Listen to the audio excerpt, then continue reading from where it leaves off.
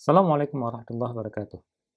Pada video ini, saya mencoba untuk membuat beberapa catatan tentang beberapa kejadian gempa dalam hari ini, 27 Maret 2021. Ada beberapa event gempa yang terjadi, dan kita lihat di sini, misalkan di sini, di, di daerah Tonga, Kemudian ini masih di sekitar New Zealand, di Carmadec. Dan selain itu, di wilayah Indonesia, kita bisa menemukan ada tiga event gempa yang terjadi dalam kurang dari 24 jam terakhir. Yang pertama, gempa yang terjadi di Sumatera bagian utara, di Samosir.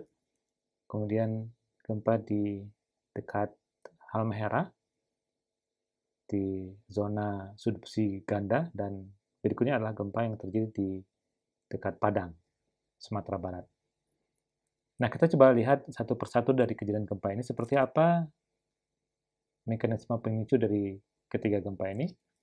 Saya coba masuk ke webnya USGS. Pertama kita melihat gempa yang terjadi di Sumatera bagian utara. Gempa terjadi pada pukul 15 lebih 46 menit. Tadi sore waktu Indonesia bagian barat pukul 15 posisi gempanya 148 km relatif dalam. Nah kalau kita lihat di sini kemungkinan gempa ini bukan terpicu oleh adanya aktivitas dari sesar Sumatera. Kita tahu sesar Sumatera membelah uh, bagian Sumatera. Dan kalau kedalaman dari gempa-gempa sesar Sumatera itu relatif dangkal antara 10 sampai 20 km, tetapi ini kedalamannya 148 km. Nah, kalau kita lihat di sini, kemungkinan besar gempa ini terpicu oleh adanya aktivitas subduksi. Kita pahami bahwa di sini ada lempeng uh, subduksi dari bagian samudra bertemu dengan lempeng Indo-Australia. Dan posisi gempa ini kemungkinan sepertinya terjadi di bidang kontak antara dua lempeng, lempeng Indo-Australia dan lempeng Eurasia.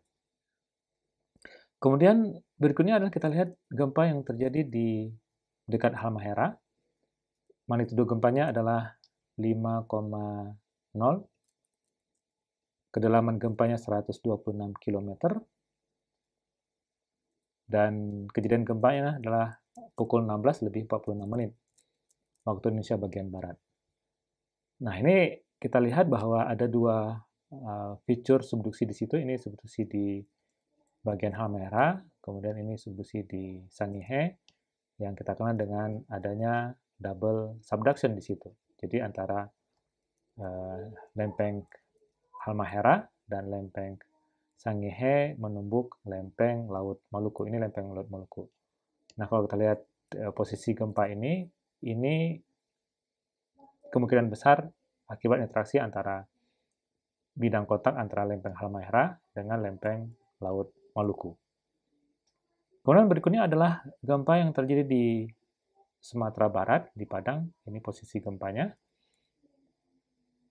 Gempa di Sumatera Barat atau di Padang itu, atau dekat Mentawai, bisa kita lihat di sini, terjadi pada pukul 17 lebih 18 menit kedalamannya 32 km. Dan ini kemungkinan akibat pengaruh dari uh, subduksi juga, akibat adanya interaksi di bagian barat Sumatera dengan uh, interaksi antara Indo-Australia dengan lempeng uh, Eurasia. Nah, uh, dari tiga event ini bisa kita katakan bahwa Ketiga event ini terpicu oleh adanya aktivitas tektonik di bagian subduksi. Ini subduksi di Sumatera, sedangkan ini subduksi di Halmahera.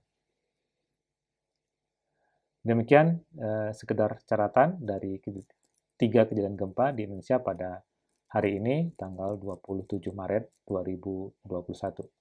Terima kasih, salam sehat selalu. Assalamualaikum warahmatullahi wabarakatuh.